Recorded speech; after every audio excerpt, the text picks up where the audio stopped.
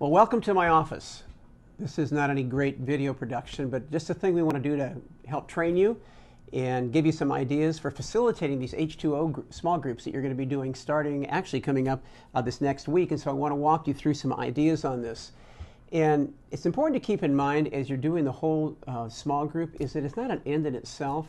We've been talking about this being a four week journey, journey of discovery, where we talked about it having four weeks, two tracks, and one message.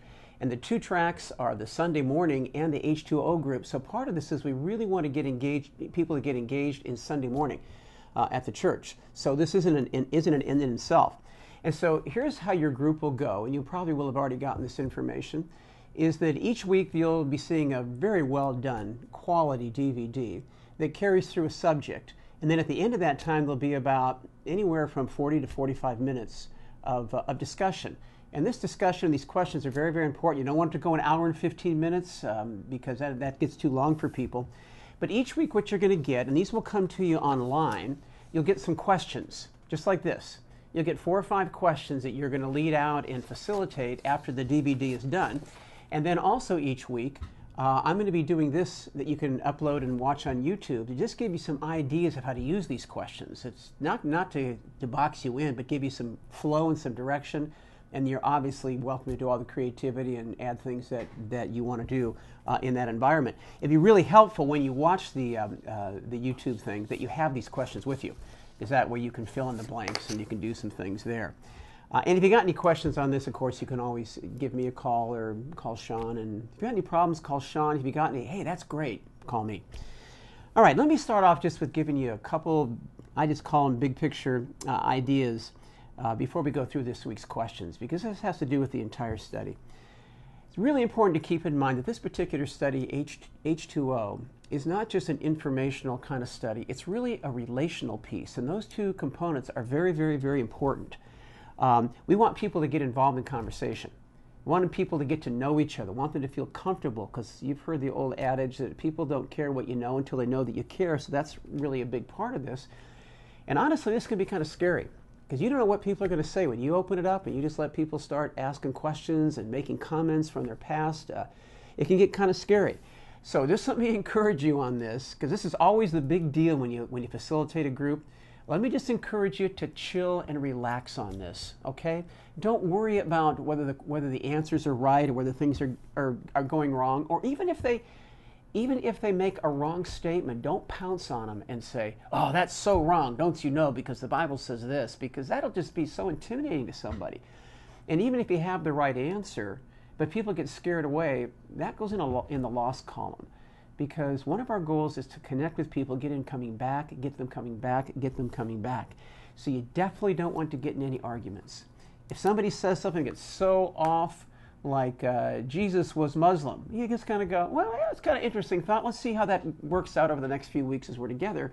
Instead of pouncing on that and giving them five verses, uh, and so they feel really intimidated and really stupid and they don't ever come back. And that brings us to a, really a second piece of this whole study that I want us to get. This is a process study. That's why we called it a journey of discovery, which means we only parse out one piece at a time. And so there's a lot of pieces that won't be there in a particular uh, in a particular study. For example, in this very first one that we're doing, uh, which is which is talking about really God being a father, it doesn't really talk hardly at all about Jesus. Doesn't talk about the cross. Doesn't talk about forgiveness. Doesn't talk about sin. And some people are going to think, oh, I got to jump in and include all this. That's going to come in another couple of weeks, and you don't want to just jump there and, and miss the and just take people so, too far too fast. Allow them to go on a process one step at a time. Don't rush the story. Let the story unpack itself over the next four weeks. If they're there on Sunday, especially, and they come to the, to the small group environment, they'll get all the pieces, even though it won't be uh, all in, in, uh, in one moment. Don't make this a Bible study. Obviously, we're using the Bible, but don't use it as an opportunity to unpack all you know about a subject to somebody. It's kind of like an iceberg. There's a whole lot more under the water, and we're just dealing with the tip. So don't worry about all the stuff that's under there and feel like you have to go through all that and explain it all because you're going to have people in your small group that are all over the map spiritually. Some will be very far from God, some will be damaged. Some will have a lot of questions and hurts. And, and, and so we don't want to make them feel intimidated like they don't belong here because somebody else knows so much more than we do because we want them to come back. And this is a part, one of the key parts of, this, of the, these questions is we want people having questions that interest them. And, and you have to be almost like, for lack of a better way to say it, almost like a doctor. You've been to a doctor and they say, Does it hurt here? Does it hurt here? And they say, Yes, no. When people answer these questions, your just antenna need to be up and you need to be listening. You know, you need to be listening to what they're saying and registering that because they are telling you volumes about their understanding of God, volumes about their background. And you may have an opportunity to talk about this, uh, maybe on the telephone with them later on, over breakfast sometime. Uh, and so just let it be this journey. Listen very closely, and, uh, and then you can utilize those things. Okay, let me talk about this week. This series, H2O, as you'll, you probably have picked up by now, is a 10 part series, and we're only picking four of them. Some of you may want to carry on and do some of the, you know, some of the other ones later on, but right now, in order to match it with our four week journey of discovery, we've only picked four topics. And the first one this week is called Source. And I trust most of you have already watched uh, the DVD. Please do that before you listen to this. Uh, watch the YouTube thing, get the questions. You need to watch that thing several times so you really have a feel of where it's going, uh, and so you can head off uh, some discussion in certain areas. And this first one is trying to get an understanding of the concept of God as Father. God as Father. And so I'm going to go actually go through these questions with you right now. I'm going to read them. You probably have them right in front of you. And I want to give you some thoughts on these. The first one is this All of us have ideas about what God is like. Where did you get your ideas, both positive and negative, and have they changed over the years? Now, obviously, people get their concepts of God. A lot of it starts very, very young, from their childhood, comes out of their family of origin, comes out of their experiences that they've had, comes out of the culture that they were that they grew up. If they grew up in a Middle Eastern culture or an Israeli culture, it's going to be much different than growing up in America. Some of those people may be in your group, and and this gives an opportunity for people to to start for you to start to know a little bit about people's background. Register that. Register. Know where they're coming from. And let them talk about this. And, and this is a very good relational piece, not right or wrong answers, you know, just let them talk, and this will be a relational piece. People get to know each other. The second one is this Is thinking of God as a father something that gives you comfort or fills you with anxiety? Why or why not? Now, this gets a little bit below the surface here, and you got to be careful here because it's going to give people the opportunity to talk about their own personal experience of their families growing up. Now, never in a small group do you want to demand transparency. Well, tell me about your parents. Tell me about your dad. People, you know, if they've had a bad experience, especially, they'll they'll kind of shrink back. But open it up. Let people talk about their background. You may hear some very, very interesting things. People come from divided homes or, or abu- even abusive parents. Be very careful how, how much you expose this in, a, in, a, uh, in an open environment like this but this is the first opportunity for people to give you a little, pull back the shade, peel back the onion just a little bit to expose uh, to you about their background or to everybody about their background. Now, here's question number three. Here's what it says Here are some descriptive words the Bible uses when talking about God. On a scale of 1 to 10, 1 being the lowest, indicate your agreement or disagreement. Now, I want to encourage you this week especially. Some people already have a notebook and have something to write on, but if not, you make sure and have pens and make sure have some, a little notebook or, or paper, something they can write on. And as you give every one of these words, I want people to, I want you want them to write down these words, and then you're asking them to put a number after the words based from 1 to 10. 1, no, no, I don't agree with this. 10, yeah, you know, I'm on with that one. And um, th- this will give you some insight about uh, people's uh, understanding of God. Uh, I'm reading right off the page here. It says there's two sections to these words. There's eight words in the first section, and there's nine words in the second section. There's a reason for this. So you just read these words out loud to the people. And uh, in parentheses in section one, it says these are more impersonal, academic, and non relational uh, type attributes of God. Don't say that. You're the, only, you're the only one that knows that. By the way, this sheet is only for you. You don't pass this out to everybody. So make sure you don't do that because this gives you some, uh, some thoughts here. Here's some of the words that go on, in, like out of the first eight. Degree or disagree that God is infinite. Is that, a, is that a 1 or a 10? Infinite means he has no beginning and no end. Is he eternal? You think God is holy. Don't spend a lot of time on these, just go through them. Is he all knowing? Is he impartial? Is he all powerful? 1 to 10 on that. Okay? Then you just say, okay, now here's, here's another group of words. Again, put a 1 to 10 on this. 1, I don't agree with this very much. 10, I really agree. And here's these, these words. They have, deal, they have are words like this loving, forgiving, kind, patient, dependable, and so on. You can work on these. And these words are a lot more personal, they're a lot more intimate, they're a lot more relational. And you see, what you're doing here is finding out whether people have an academic understanding of God or have a personal uh, interaction with God. Do they really feel like God's a loving God?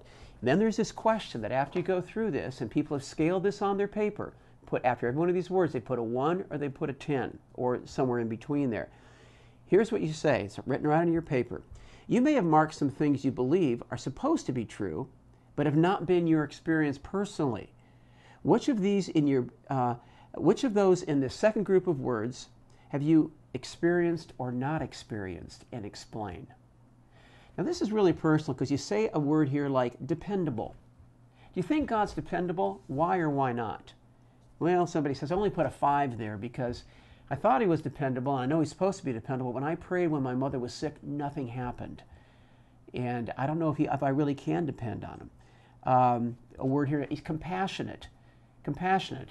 What do you think? Well, academically, I'm supposed to think he's compassionate. Somebody says, yeah, but when my, when my first wife had cancer, and uh, you know, I just felt really sorry for my wife, and God didn't do. It didn't seem like God did anything. Now, your response may be, "Oh man, I got to correct this person. That maybe it was because you know that prayer, um, God had something else in mind.